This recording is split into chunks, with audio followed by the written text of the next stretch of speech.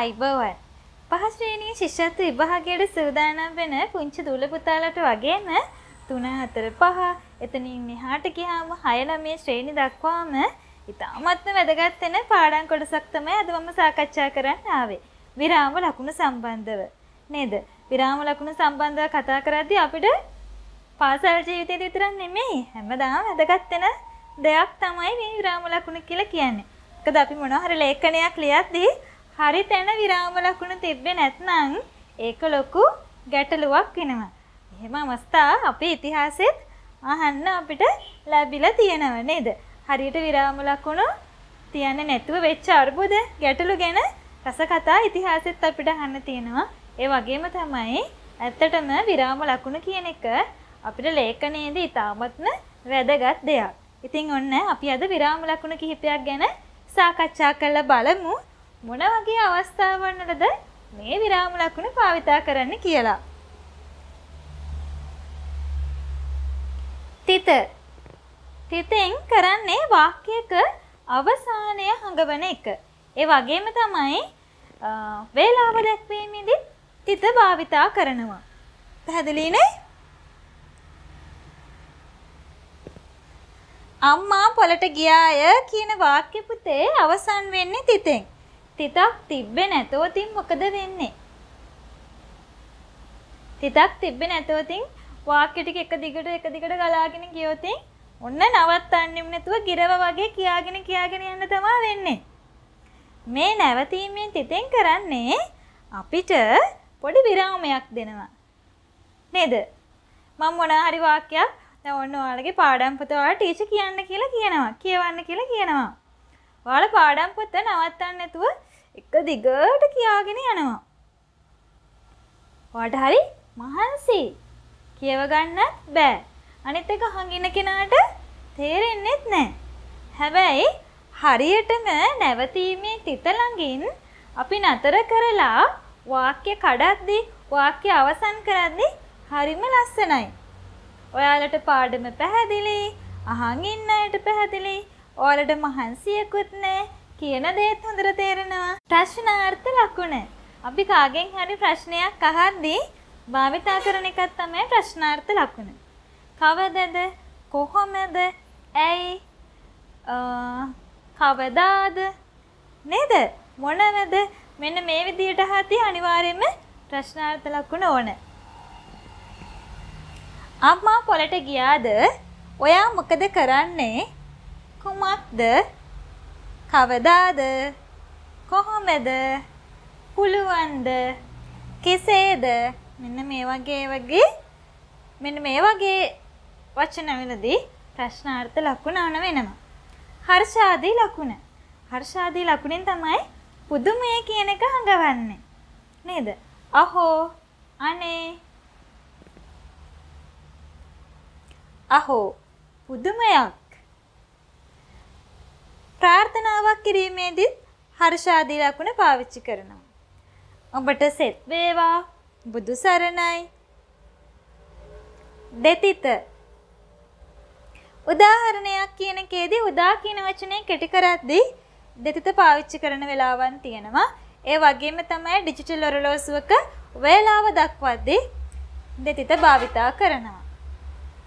දිත්ව උඩකමාව යම් පුටනයක් දැක්වීමද කවුරු හරි කියපු දෙයක් හරි නැත්නම් කොහෙන් හරි ගත්ත දෙයක් අපි දක්වද්දි ලේඛනයේදී මෙන්න මේ උඩකමා භාවිතා කරනවා. තනිකමාව භාවිතා කරන වර්ග ගොඩක් දක්වලා එක් එක් වර්ගය වෙන් කරලා හඳුන්වන්න. අඹ, peer, ජම්බු ආදී පළතුරු වර්ග අපේ වත්තේ ඇත. අඹ, peer, ජම්බු පැහැදිලි නේද? ඊට පස්සේ තව භාවිතා කරන ඒවා තියෙනවා. තනි උඩුකමාව, කෙටීර, තිත සහ කමාව මේවා භාවිතා කරනවා. ගැළපෙන විරාම ලකුණු යදන්න. වයස අවුරුදු 5 11 තෙක් සිසුන් වීර දීර සූර යන නිවාස තුනට බෙදන්න. මෙතෙන්ට අනිවාර්යෙන් එන්න ඕනේ කෙටීර. වීර කමාවක් දීර කමාවක් බෙදන්න නැවතීමේ තිත. බරෙන් වැඩි ගසක මුල් කොටසද අග කොටසද? කොටසද ප්‍රශ්නයක්නේ. අග කොටසද ප්‍රශ්නයක්. එහෙනම් ප්‍රශ්නාර්ථ ලකුණ. පරිසරයේ අසිරිය යන තේමාව සෑම චිත්‍රයකම අන්තර්ගත විය. මේ මාතෘකාව උපුටනයක්. එහෙනම් මොකක්ද දාන්නේ? උඩුකමා දාන්න ඕනේ. යුගල උඩුකම. අන්තර්ගත විය නැවතීමේ තිත අපි භාවිතා කරන්නත් ඕන. වයස අවුරුදු 5 11 කෙටිර අනේ අනේ මට උදව් කරන්න කවුරුත් නැද්ද? වනයේ දෙසින් නාදුරන කටහඬක් මතුවිය. උඩුකමා එන්න ඕන. අනේ අනේ මට කවුරුත් උදව් කරන්න නැද්ද කියන එකට ඒ වාක්‍ය ළඟට විතරයි උඩුකමා එන්න ඕන. මෙතන දක්වා. මෙතෙන්ට වෙනකම් උඩුකමා දැම්මොත් එක වැරදි. අනේ අනේ. හර්ෂාදී ලකුණ. කවුරුත් නැද්ද? කමාව එන්න ඕනේ. වනයේ දෙසින් නාදුරන කටහඬක් මතුවිය නැවතීමේ තිත. ලං ගම කියද්දී තිත එන්න ඕනේ. ඔන්න තිත යෙදෙන තවත් අවස්ථාවක්. කෙටි කළ දැක්වීමේ. ලංකා ගමනා ගමන මණ්ඩලය. නේද? ලං බිම ලංකා විදුලි බල මණ්ඩලය. මෙන්න මේ වගේ කෙටි කළ දක්වන තැන්වලදී තිත භාවිතා කරනවා. කෝ පොල් ටික ප්‍රශ්නයක්. ඔන්න අපෙන් පුංචි ඡේදයක් දීලා අහනවා. තාත්තා මේ ගමන කවදාවත් වරද්දන්නේ නැහැ. තාත්තා හැමදාම කියන්නේ මොන වැඩේ තිබ්බත් අඩු ගණනේ මාසයකට සැරයක්වත් ගමේ ගිහින් එන්න ඕනේ කියලා.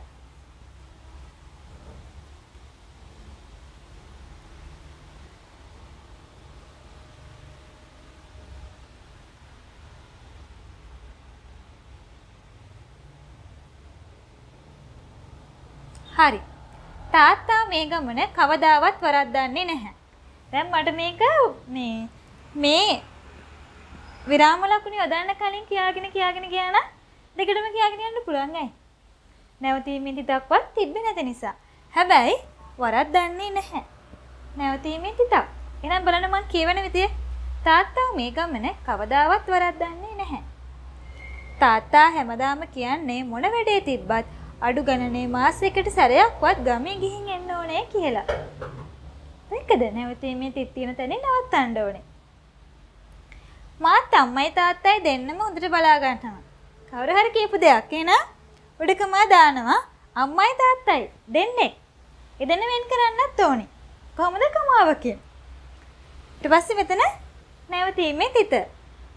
මින්දුගේ මව්පියන් ආච්චිටයි සියටයි සලකනව දැක්කම බින්දුට එහෙම හිතුණා. ආච්චිටයි සීයටයි. කමාවකින් වෙන් කරන්න ඕනේ. එහෙ ගියාම ඒ දෙන්නට හරි සතුටුයි. බින්දුයි නංගී ළඟට අරගෙන ආච්චි සීයයි ලස්සන කතන්දර කියලා දෙනවා. අමුතු අමුතු ප්‍රශ්න අහනවා මේ කියලා දෙනවා. තිතයි කමාවයි. ඇයි එහෙම තියලා තියන්නේ? ඡේද ගොඩක් දිග නිසා. සතුටුයි කියන තැනත් එනවා තිත. මගේ පුතාගේ අතේ ඇඟිලි කීයක් තියද? ප්‍රශ්නයක් අහන්නේ. වෙන කෙනෙක් අහන නිසා ඔන්න උඩක මාතර දාලා. 5යි 100. මොනවද ඒවා එනම්? මේ ප්‍රශ්නාර්ථ ලකුණ. මේ ඔයාලගේ පෙළපොතෙන් ගත් එක. මේ තමයි සියේ මහපට ඇඟිල්ල, මේ තමයි දබරකිල්ල, මේ මැදගිල්ල, මේ වෙදගිල්ල, පුංචි එක්කෙනා තමයි සුළඟිල්ල. බලමු කොහාටද එන්නේ කියලා අපේ විරාම ලකුණු ටික. ආ.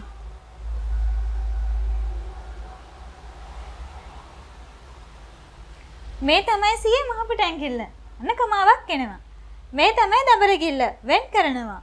මේ තමයි මැදගිල්ල. මේ තමයි වෙදගිල්ල. පුංචි එක්කෙනා තමයි සුළඟිල්ල. කියන දෙයක් නිසා උඩිකම ඇතුළේ දානවා. ඊට පස්සේ වාක්‍ය අවසානයේදී නැවතීමේ තිත. බොහොම හොඳයි. දැන් කියමුකෝ බලන්න ඔය ඇඟිලි පහෙන් ලොක්කා කවුද කියලා. නේ? එඩකම ඇතුලේ. නංගි චුට්ටක් කල්පනා කළා. නැවතීමේ තිත ඇඟිලි පහ දිහා බැලුවා. දිග පළල බැලුවා. මැදගිල්ල තමයි ලොක්කා. නංගි උත්තර දුන්නා. දැක්කද? අපි දැන් මේ වගේ උඩ මේ වගේ පුතේ විරාම ලකුණු යොදන්න ඕන වාක්‍යයක. එහෙම නැති වුණොත් අපිට තියෙන්නේ දිගටම දිගටම කියව කියව යන්න. දැන් ඔයාලා බලන්න කොයාලා ඉස්කෝලේ ඔයාලට ඉන්ටර්වල් එකක් දෙන්නේ අය. ඔයාලට විරාමයක් ඕන නිසා. නේද? නැත්නම් පැය ගාණක් එක දිගට ඉගෙන ගන්න අමාරුයි. පැය ගාණක් අපිට කතා කරන්නත් අමාරුයි. පැය ගාණක් අපිට ලියන්නත් අමාරුයි. අපිට පුංචි හරි විවේකයක් ඕන. ඒ නිසානේ අපිට විවේකයක් දෙන්නේ. අන්න ඒ වගේ තමයි ලේඛනයේදී අපිට විවේකයක් විරාමයක් අවශ්‍ය වෙනවා. ඒ මොකටද අපි ලියන දේ අපිට තේරුම් ගන්න, අන් අයට තේරුම් ගන්න, sannivedanaya කරන්න අපිට අනිවාර්යෙන් විරාම ලකුණු කියන එක අවශ්‍ය වෙනවා. එතකොට අපේ ඉරියව් පුදුමයක් ප්‍රශ්නයක් තව කෙනෙක් කියන දෙයක් මේ වගේ දේවල් දක්වන්න නම් අනිවාර්යෙන්ම ඒවට ආවේනික ලකුණු අපේ භාෂාවල තියෙනවා. ඒක ඉංග්‍රීසි භාෂාවේ සිංහල භාෂාවේ හැම භාෂාවකම පොදුයි. ඉතින් සිංහල භාෂාවේදී මෙන්න මේ වගේ විරාම ලකුණු තියෙනවා. පුංචි දුල්ල පුතාලා දැනගන්න ඕන දේ තමයි මේ වගේ විරාම ලකුණු මොන වගේ අවස්ථාවන් වලද අපි භාවිතා කරන්න කියලා. එතකොට ඔයාලට විභාග වලට වාක්‍යයක් දෙනවා. එහෙම නැත්නම් පුංචි ඡේද ඛණ්ඩයක් දෙනවා. දීලා කියනවා අදාළ තැන හරි විරාම ලකුණු යදන්න කියලා. පැහැදිලි නේද? හරි එහෙනම් ආදරණීය පුංචි දුවල පුතාලට සුබ දවසක් වේවා. අපි ආයෙත් දවසක tuition.lk හරහා හම්බ වෙමු. මේ වගේ ඔයාලගේ විභාගවලට ඔයාලගේ පාඩම් වලට අදාළ අලුත් අලුත් පාඩම් මාලා රසක් තුලින්. ඉතින් අපිත් එක්ක එකතු නොවන පුංචි දුවල පුතාලට පුළුවන් 0.7.3යි 500 800 කියන දුරකථන අංකය හරහා අපේ ආයතනයත් එක්ක සම්බන්ධ වෙලා ඔයාලගේ විභාගවලට වැඩිම ලකුණු ගන්න පාර අපි ඔයාලට පෙන්වනවා. ඉතින් පුංචි දුවල පුතාලට ආරාධනා කරන ගමන් ඔන්න අද මම ඔයාලගෙන් සමුගන්නවා. මගේ ආදරණීය පුංචි දුවල පුතාලා හැමෝටම සුබ දවසක් වේවා.